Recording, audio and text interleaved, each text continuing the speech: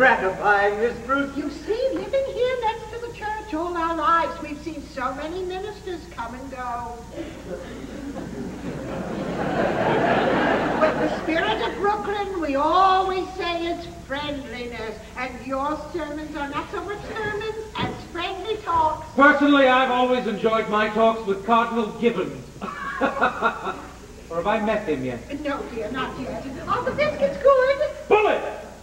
Won't you have another biscuit, Dr. Harper? Oh, no. I'm afraid I'll have no appetite for dinner now. I always eat too many of your biscuits just to taste that lovely jam. You haven't tried the quince. We put a little apple in with it to take the tartness out. No, thank you. Well, you must have it, darling. Oh, no, no, no, no. You keep it here uh, so I can be sure of having your biscuits with it. Ah, oh, I do hope they don't make us use that imitation flour again. I mean, with this war trouble. It may not be very charitable of me, but I have almost come to the conclusion that this Mr. Hitler is not a Christian. oh, if only Europe were on another planet. Europe, sir? Uh, yes, Teddy. Point your gun the other way. Gun? To the west. There's your danger. There's your enemy, Japan. Why, yes, uh, yes, of course. No, Aunt Abby, not so much talk about Europe, and more about the canal. Well, let's not talk about war. Would you like another cup of tea, dear? No, thank you, Aunt Abby. Dr. Harper. Oh, no, uh, thank you. I must admit, Miss Abby, that uh, war and violence seem far removed from these surroundings. Oh, it is peaceful here, isn't it? Yes, peaceful. The virtues of another day. They're all here in this house. The gentle virtues that went out with the candlelight and good manners and low taxes.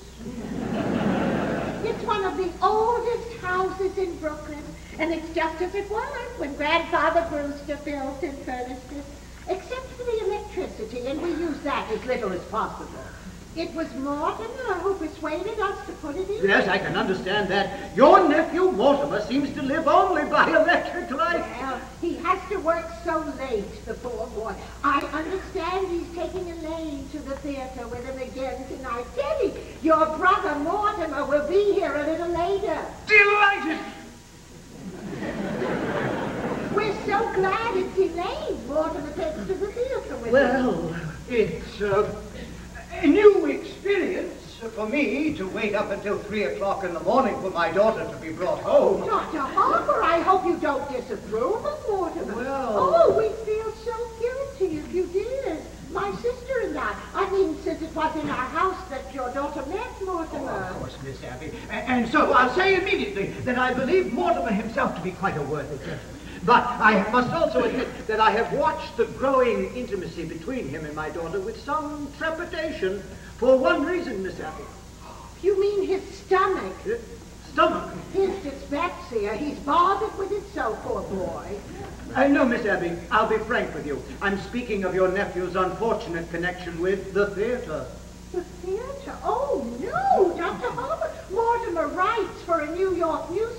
I know, oh, Miss Abby, I know. But a dramatic critic is constantly exposed to the theater, and I don't doubt but what some of them do develop an interest in it. Oh, not Mortimer. You need have no fear of that. Why, Mortimer hates the theater. Really? Oh, yes, he writes awful things about the theater. and you can't blame him, the poor boy. He was so happy writing about real estate, which he really knew something about. But then they just made him take this terrible nice position. My, my. Ah, But as Mortimer says, the theater can't last much longer anyway. And in the meantime, it's a living. Yes, I think if we give the theater another year or two, perhaps. Well, now, who do you suppose that is? No, thank you, Teddy. I don't know. Come in, Hello, Miss Brewster. How are you, Mr. Very well, Miss Brewster. What news have you brought me? Colonel, we have nothing to report. Splendid. Thank you, gentlemen. At ease. You know Dr. Harper. Sure. Hello, Dr. Harper. We come for the toys for the Christmas fund. Oh, yes? That splendid work you men do, fixing up discarded toys to give poor children a happier Christmas. Well, it gives us something to do when we have to sit around the station. You get tired of playing cards, and then you start cleaning your gun, and the first thing you know, you shot yourself in the foot. Teddy, go upstairs and get that big box from your Aunt Martha's room. How is Mrs. Brophy today? Mrs. Brophy has been quite ill, Dr. Harper. Pneumonia. Oh, I'm sorry to hear that. She's better now. A little weak still. I'm going to get you some beef broth to take to her. Oh, don't bother, Miss Abby. You've done so much for her already. We made it this morning. Sister Martha's taking some to poor Mr. Benitzky right now. I'll only be a minute. Sit down. Be comfortable. All of you. She shouldn't go to all that trouble. Listen, you try to stop her or her sister from doing something nice, and for nothing. They don't even care how you vote. When I received my call to Brooklyn and moved next door, my wife wasn't well when she died, and for months before. Well, if I know what pure kindness and absolute generosity are, it's because I've known the Brewster sisters.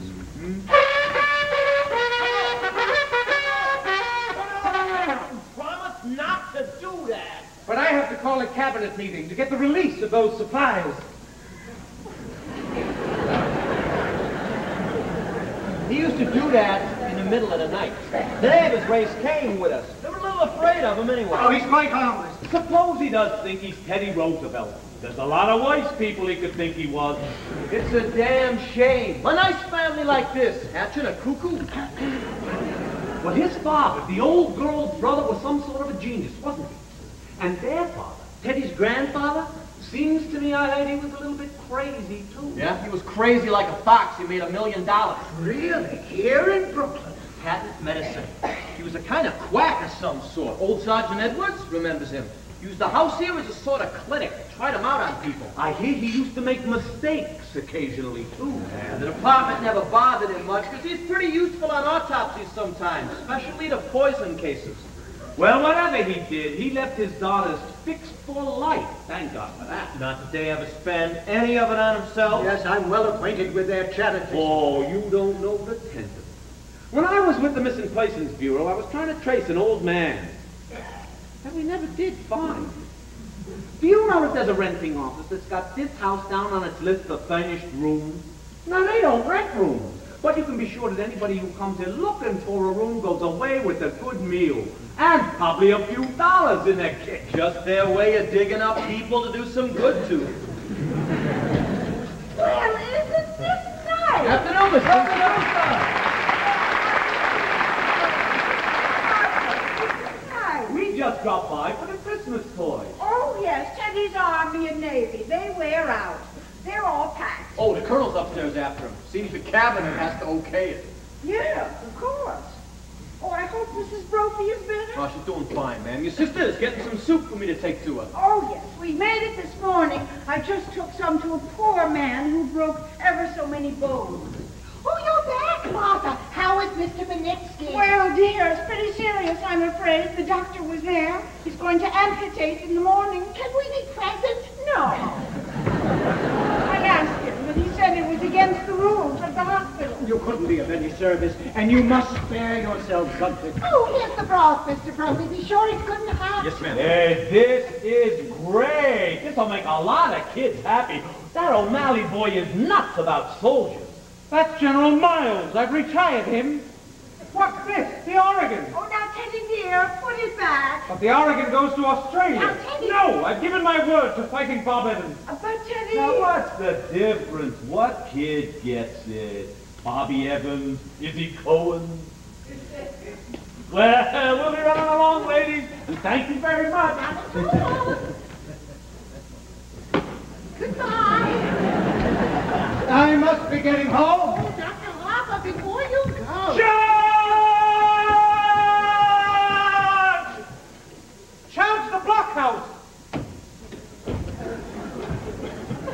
The uh, blockhouse? The stairs are always San Juan Hill. Uh, have you ever tried to persuade him that he wasn't Teddy Roosevelt? Oh, no. He's so happy being Teddy Roosevelt. Once, a long time ago, remember, Martha? We thought if he would be George Washington, it might be a change for him. But he stayed under his bed for days and just wouldn't be anybody. And we'd so much rather he was Mr. Roosevelt than nobody. Well, as long as he's happy. And what's more important, you're happy. And now, uh, don't forget to have him sign these. Now, what are they? Dr. Harper has made all the arrangements for Teddy to go to Happydale Sanitarium after we pass on. Why should Teddy sign any papers now? It's best to have it all settled. If the Lord should take you away suddenly, we might not be able to persuade Teddy to commit himself, and, and that would mean an unpleasant legal procedure.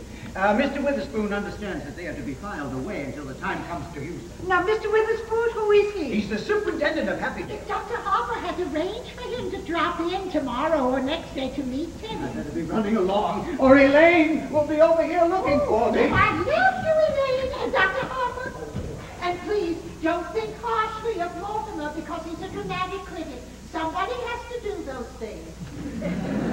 Did you just have tea? Isn't it rather late? Yes. And dinner is going to be late, too. So why? Teddy! Teddy! Good news for you. You're going to Panama to dig another lock for the canal. Do you like it? That's bully! Just bully! I shall prepare at once for the journey. Oh. Charge!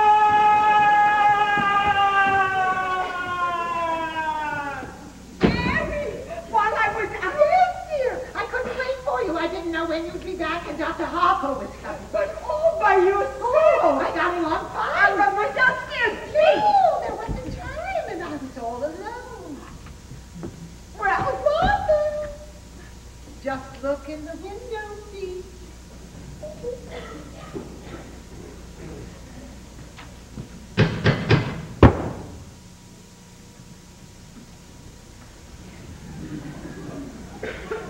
Oh, Elaine, come Good afternoon, Miss Abby. Elaine. Good afternoon, Miss Martha. I thought Papa was here. Just this minute left. Didn't you meet him? Oh, no, I took the shortcut through the cemetery. Mortimer hasn't come yet. No, dear. Oh, he asked me to meet him here. Do you mind if I wait? Not at all. Why don't you sit down, dear? but we really must speak to Mortimer about doing this to you. Doing what? He was brought up to know better. When a gentleman is taking out a young lady, he should call for her at her house. Oh, there's something about calling for a girl at a parsonage that discourages any man who doesn't embroider. Well, he's done this too often. We're going to speak to him. Oh, please don't. As a young man whose idea of nightlife was to take me to prayer meetings, it's wonderful to go to the theater almost every night of my life. Well, it's, it's comforting for us, too, because if Mortimer has to see some of the plays that he has to see, at least he's sitting next to a minister's daughter. Oh, my goodness, Elaine, what must you think of us not having tea cleared away by this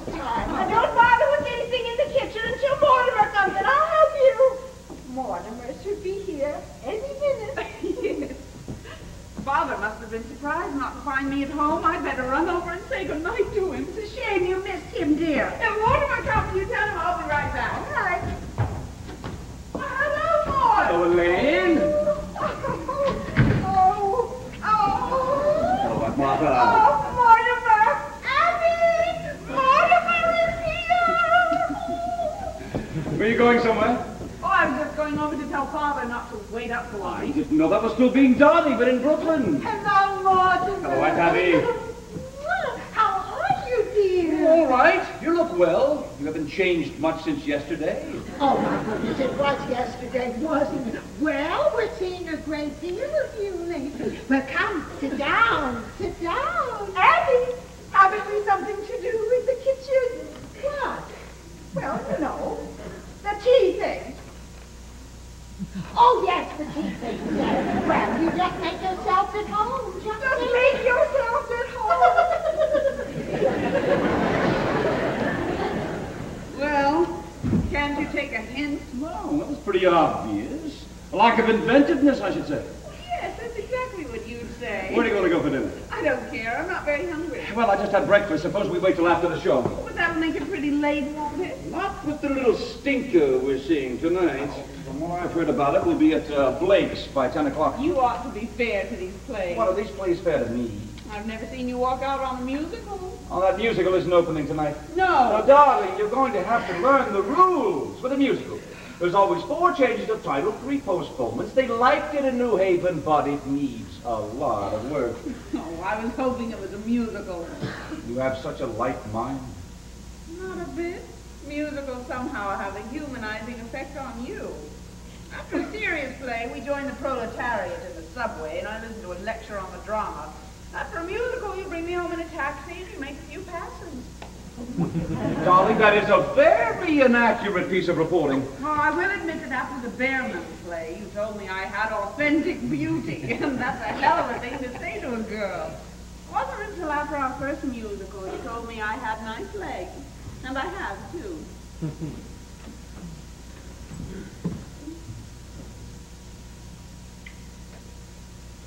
For a minister's daughter, you know a lot about life. Where did you learn it?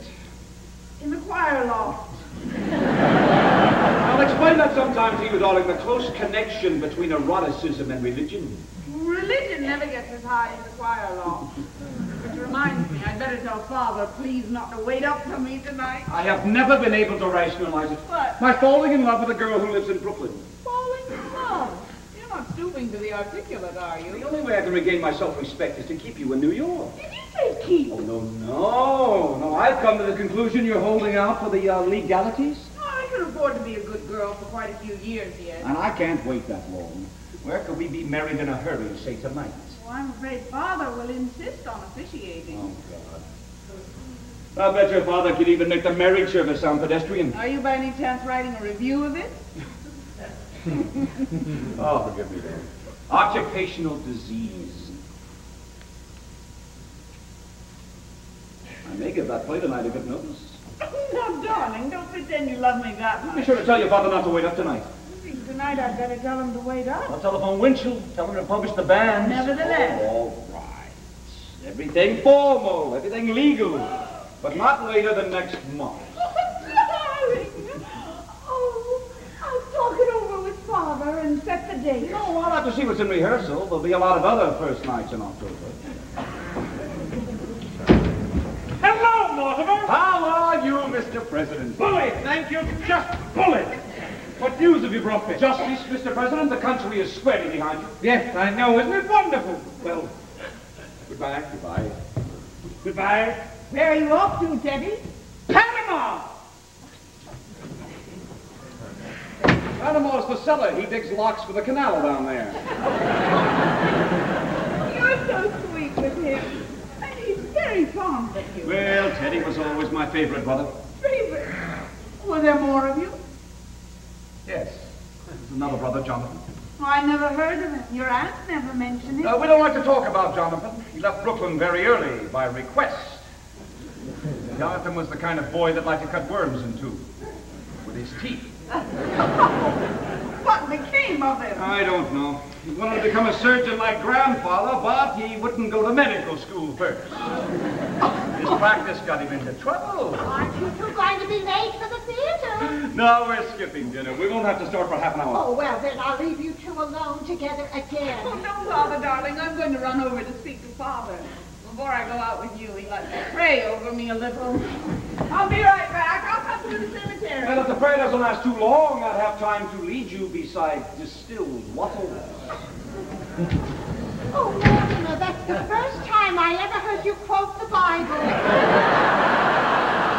we knew Elaine would be a good influence for you.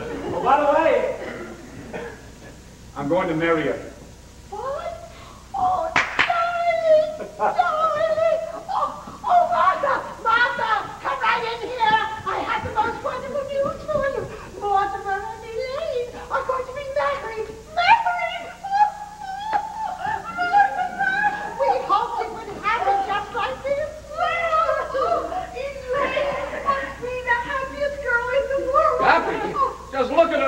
those gravestones. Something more you can tell us about Elaine. Elaine. Oh, Elaine thought it was brilliant. What was, dear? My chapter on Thoreau. Well, when Elaine gets back, I think we should have a little celebration. We must drink to your happiness. Martha, isn't there some of that Lady Baltimore cake left? Oh, yeah. And I'll open a bottle of wine. Oh, and to think it happened in this room. Where can I put that? Well, with your fiancé beside you tonight, I do hope it's a play you can enjoy for once. It may be something romantic. What's the name of it? Murder will out. Oh, dear. Yeah. When the curtain goes up, the first thing you will see will be a dead body.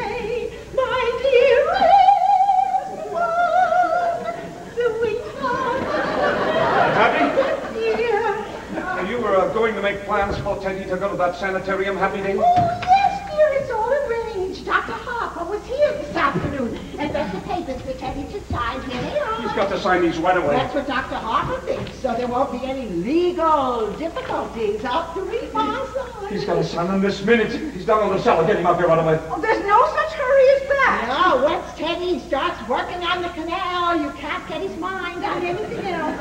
He's got to go to Happydale now, tonight. Oh, no, dear. That's not till No, no, right away, I tell you, right Oh, away. how can you say that? Why, as long as we live, we'll never be separated from Teddy. Now, listen, darlings. I'm frightfully sorry, but I have some shocking news for you. You know, we've all got to try and keep our heads about this. You know, we've always sort of humored Teddy because we thought he was harmless. Oh, Why, he is harmless. He Was harmless. That's why he has to go to Happy Happydale, why he has to be confined. Oh, now why have you suddenly turned against Teddy, your own brother? Well, You've got to know sometime. It might as well be now. Teddy has killed a man. Nonsense, dear. There is a body in the window seat. Yes, dear, we know. You know. Of course, dear. But it has nothing to do with Teddy. Now just forget all about it. forget you ever saw the gentleman. Forget We never dreamed you'd meet. Well, who is he? Oh, his name is Hoskins, Adam Hoskins. That's really all I know about him, except that he's a Methodist. That's all you know about him. Well, what's he doing here? What, what happened to him? He died. Thank God the men don't just get into window seats and die. No, dear, he died first. But how? Oh, Mortimer, don't be so inquisitive. The gentleman died because he drank some wine with poison in it. Why did the poison get in the wine? Well, we put it in wine because it's less noticeable. When it's in tea, it has a distinct odor. Put it in the wine? Yes, and I put Mr. Hoskins in the window seat because Dr. Harper was coming. Then you know what you were doing. You didn't want Dr. Harper to see the body. Well, not at tea. That wouldn't have been very nice. Mortimer, you know the whole thing. Just forget all about it. I think Martha and I have a right to our own little secret. And don't you tell Elaine. Oh, while I was out, I dropped in on Mrs. Schultz, and she's much better now, but she would like us to take Junior to the movies again. Well, we must do that tomorrow or next day. Yes, but this time we go where we want to go. Junior is not dragging me into another one of those scary pictures.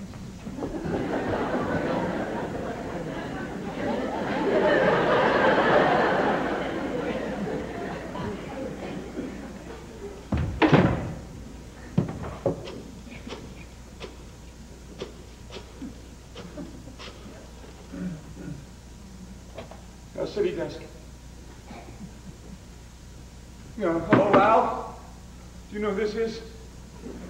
Yeah, that's right. Now, look, Al, when I left the office, I told you where I was going, remember? Well, where did I say? Oh, Well, so what? It would take me about a half hour to get to Brooklyn? Yeah, well, what time you got? Oh, that's right. I must be here. Abby! Martha, come in here. What are we going to do? I mean, what are we going to do? What are we going to do about what, dear? There is a body in there! Mr. Hoskins. Oh, good heavens.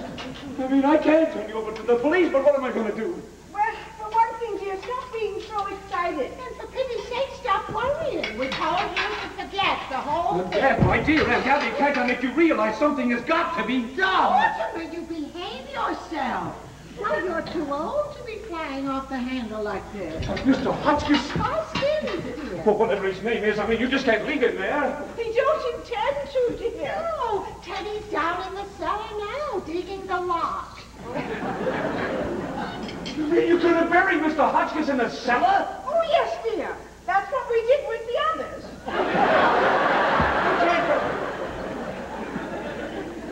Others. The other gentlemen. When you say others, you, you mean others? More than one others? Oh, yes, dear. Let me see. This makes 11, doesn't it, Abby? No, dear, this makes 12.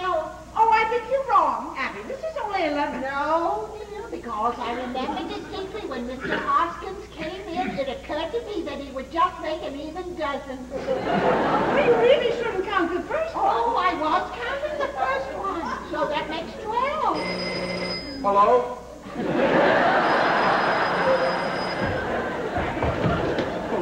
oh, oh, well, oh, my, Well, anyway, they're all down in the cellar. Huh? No, no, no, I'm sober as a lark. Yeah, well, I, I called you because I was feeling a little Pirandello. Uh, Pirandello. You wouldn't know, Al. Look, I'm glad you called. Get a hold of George. He's got to review the play tonight. I can't make it. Al, you were wrong. I'll tell you all about it tomorrow. Well, George has got to cover that play tonight. This is my department. I'm running it. Now, you get a hold of George.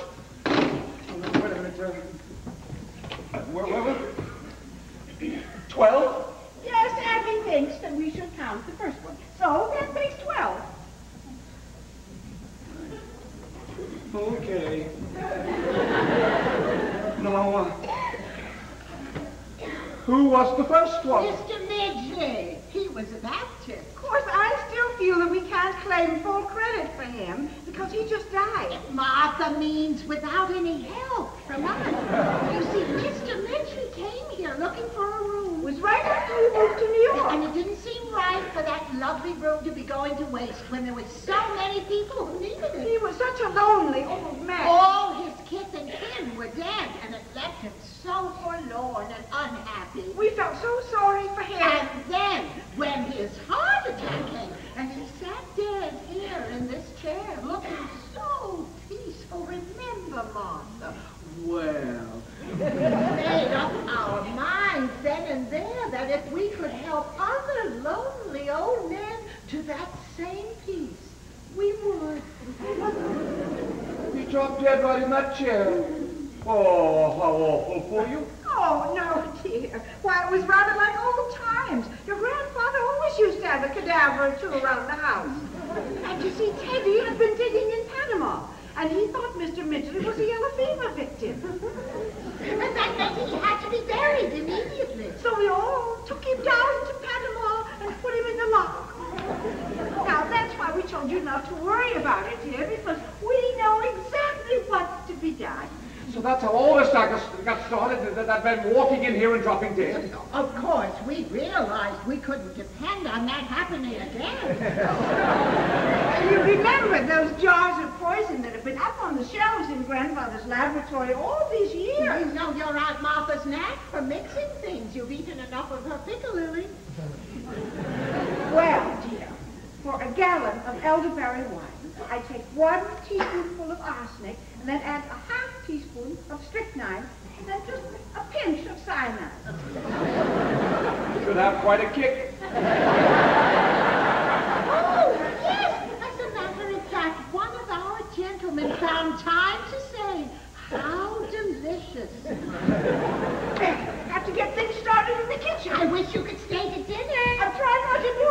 doing? I couldn't eat a thing. well, I'll come and help you, Arthur. Oh, I feel so much better now. You have to wait for Elaine, don't you? How happy you must be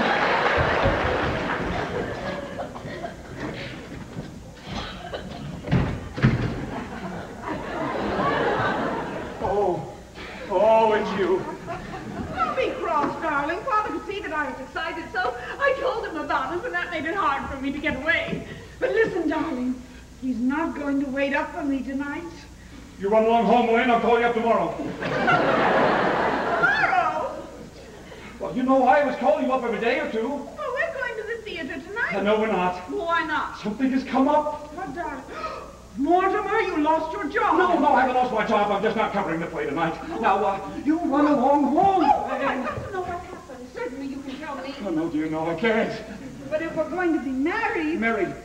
have you forgotten that not 15 minutes ago you proposed to me? I did. Oh, well, as far as I know, that's still on. Now, uh, you run along home, Elaine. I have to do something. Listen, you can't propose to me one minute and throw me out of the house. Oh, I am not throwing you out of the house, darling. Will you get out of here? No, I won't get out of here, not until I've had some kind of explanation. Elaine!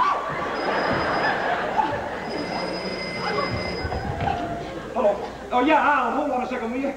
Yeah, it's important. It can wait just a second, Kendall. Hold on. Elaine, you are a sweet girl, and I do love you. But I have something on my mind now. And I want you to go home and wait until I told you. Don't try to be masterful. When we are married and I have problems to face, I hope you're less tedious and uninspired. And when we're married, if we're married, I hope I find you adequate.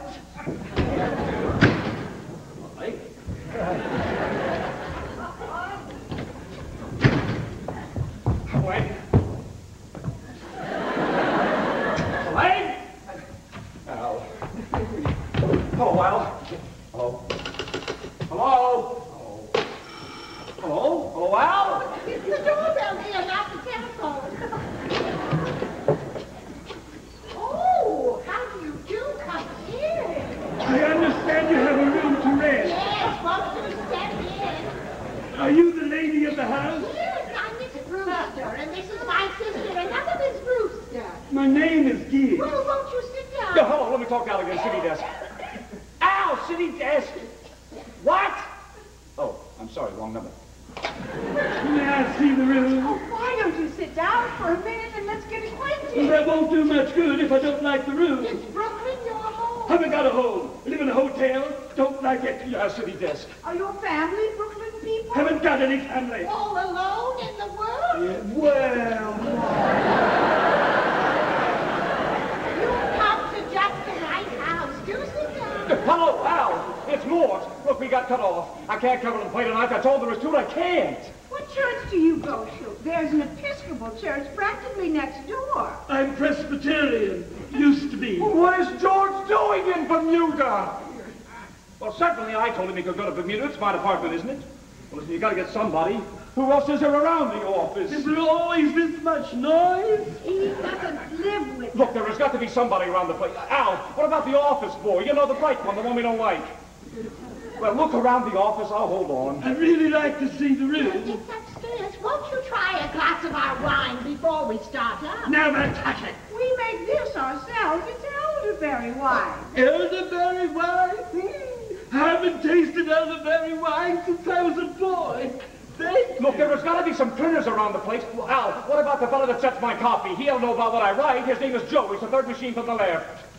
Come on, Al. He might turn out to be another Brooks Atkinson. Do you have your own elderberry bushes? No, but the cemetery's full of them.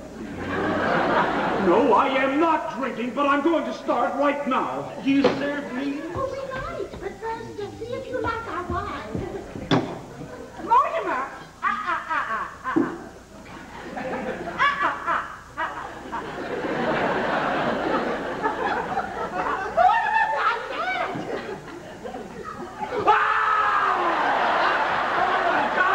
Get out of here! Hurry, hurry!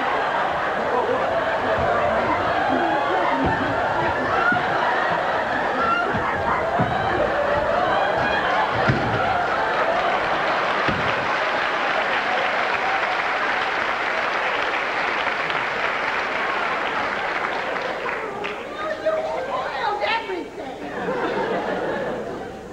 You can't do things like that.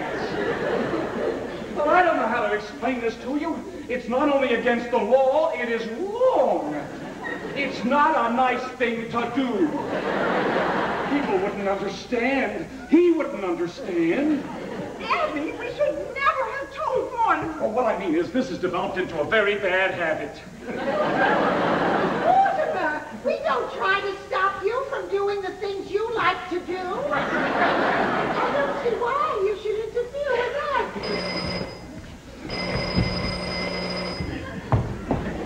Hello! All right, I cover the first act and I'll pan the hell out of it. Now look, Al, you've got to do something for me. Get a hold of O'Brien.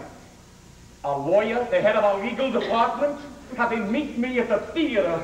Now don't let me down on this, Al, okay? Okay, I'm leaving right now. Listen, I gotta go to the theater and I can't get out of it. But before I go, will you promise me something? We would have to know what it was first. I love you very much. And I know that you love me. And you know that I would do anything in the world for you. And I want you to do just this one little thing for me.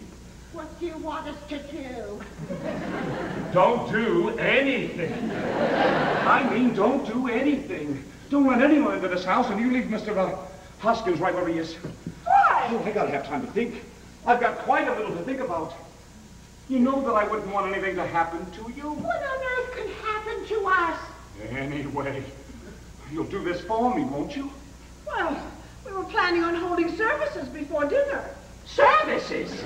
Well, certainly. You don't think we would bury Mr. Hoskins without a full Methodist service to you Why, he was a Methodist. Well, can't that wait till I get back? Then you could join us. Yes, yes. Oh, Mortimer, you'll enjoy the services, especially the hymns. Remember how beautifully Mortimer used to sing in the choir before his voice changed. Now remember, you're not going to let anyone into this house while I'm gone. It's a promise. Well, I Oh, don't see I, why. I think we can do that now that Mortimer's cooperating with us. Well, all right, Mortimer. Good. Do you have any paper? I'll be back just as quick as I can. There is a man that I have to see. Here's some stationery. Will this do? It'll be fine. I can save time if I write my review on the way to the theater.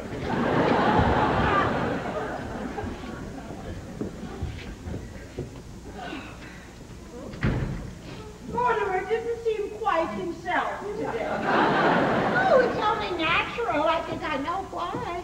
Why? Well, he just became engaged to be married. I suppose that always makes a man nervous. Well, I am so happy for Elaine.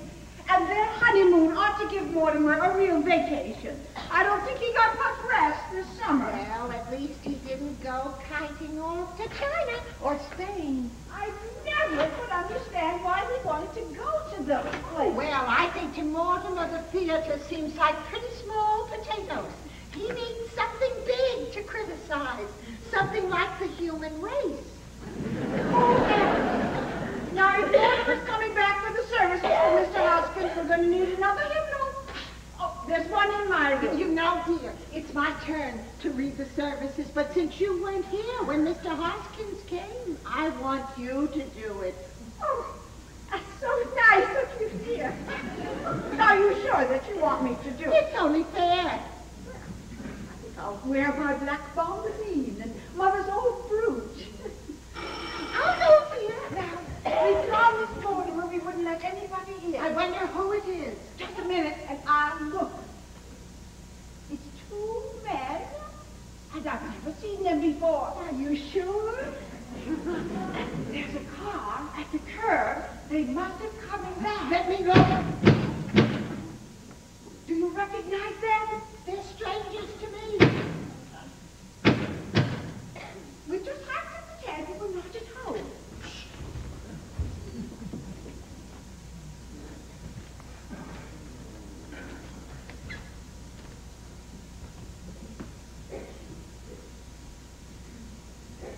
Come in, Doctor.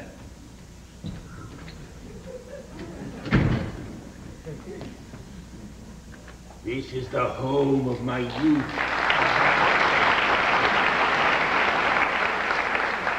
As a boy, I couldn't wait to escape from this place. Now I'm glad to escape back into it. Yeah, Johnny, this is a fine hideout. Family must still live here. There's something so unmistakably Brewster about the Brewsters. I hope there's a fatted calf awaiting the return of the prodigal. Yeah, I'm hungry. Look, Johnny, drinks. As though we were expected. A good omen. Who are you? What are you doing here? Why, Aunt Abby! Aunt Martha! It's Jonathan! You get out of here! But I'm Jonathan!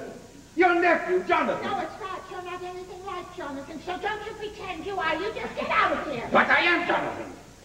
And uh, this is Dr. Einstein. That's not Dr. Einstein either. Not Dr. Albert Einstein, Dr. Herman Einstein. You're not our nephew, Jonathan. Who are you? I see you're still wearing the lovely garnet ring that Grandma Brewster bought in England. And you, Aunt Martha, still the high collar to hide the scar where grandfather's acid burned you. His voice is like Jonathan. Have you been in an accident? No. My face. Dr. Einstein's responsible for that. He's a plastic surgeon. He changes people's faces. But I've seen that face before. Oh, Abby, remember when we took the little Schultz boy to the movies and I was so frightened? It was that face! Easy, easy, easy, easy, Johnny, easy, easy. Don't worry, ladies. In the last five years, I give Johnny three new faces. I give him another one right away. This last face, well, I saw that picture too. Just before I operated, I was intoxicated. Doctor, you see what you done to me? Why, even my own Easy, family easy, is easy, dying of easy, Johnny. You're home, in this lovely house. How often he tells me about Brooklyn, about his house, about his aunts that he loves so much. They know you, Johnny. You know it's Jonathan. Well, speak to him. Tell him so.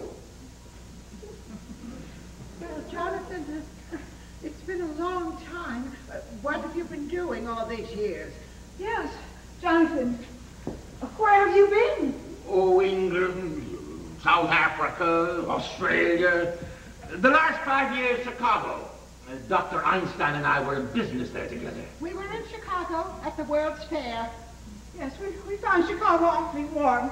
Yeah, it got hot for us too. Well, it's wonderful to be in Brooklyn again. You, Abby, Martha, you don't look a day older. Just as I remembered you. Sweet, charming, hospitable. And uh, dear Teddy, did he get into politics? Uh, my little brother doctor was determined to become president. Teddy's fine, just fine, and Mortimer is well, too. I know about Mortimer. I've seen his picture at the head of his column.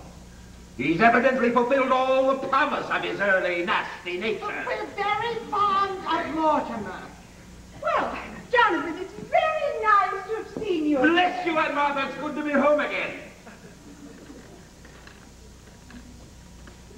Martha, we mustn't let what's on the stove boil over. Yes, if you just excuse us for a minute, Jonathan? Unless you're in a hurry to go somewhere.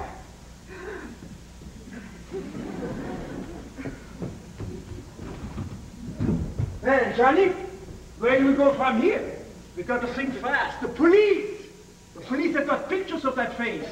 I got to operate on you right away. We got to find some place for that. And a place for Mr. Spenalzo. Don't waste any worry on that rat. But Johnny, we got a hot stiff on our hands. Forget Mr. Spenalzo. But you can't leave a dead body in the rumble seat. you shouldn't have killed him, Johnny. He's a nice fellow. He gives us a lift, and what happens? He said I look like Boris Karloff. That's over, Doctor. You did that to me. See, Johnny, see. I find a place somewhere, I'll fix you up quick. All right. Johnny, I got to eat first. I'm hungry. I'm weak.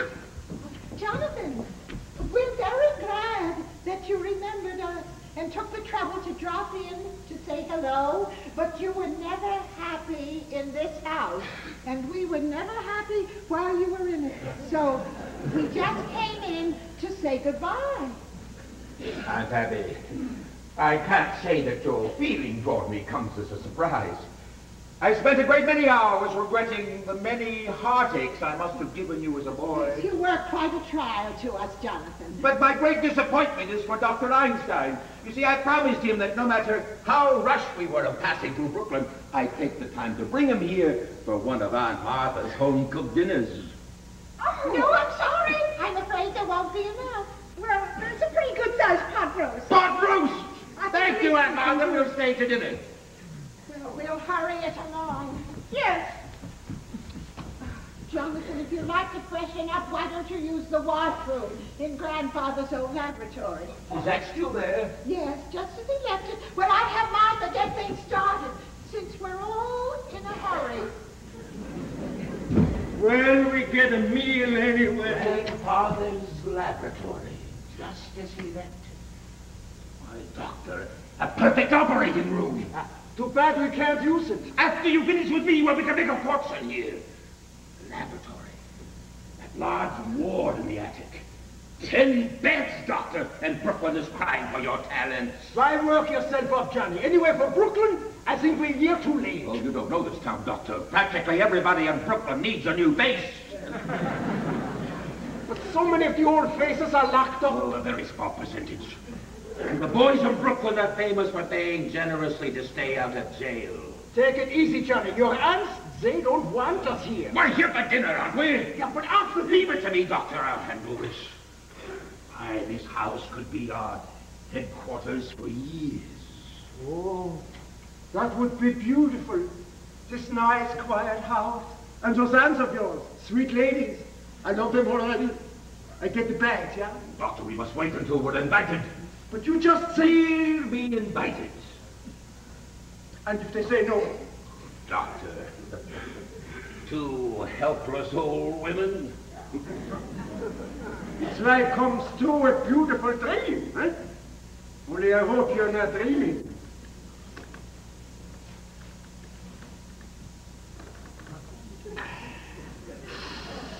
It's so peaceful. That's what makes this house so perfect for us. It's so peaceful.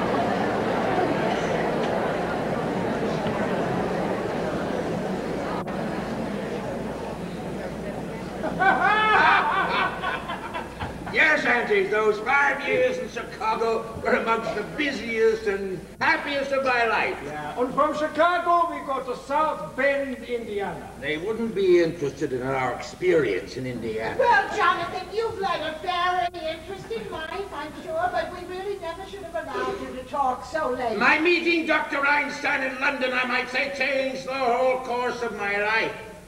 You remember I've been in South Africa on the diamond business then Amsterdam, the diamond market. Well, I wanted to get back to South Africa, and Dr. Einstein here made it possible for me. Yeah, that was a good job, Johnny. When we take off the bandages, his face looks so different, the nurse had to introduce me. I love that face.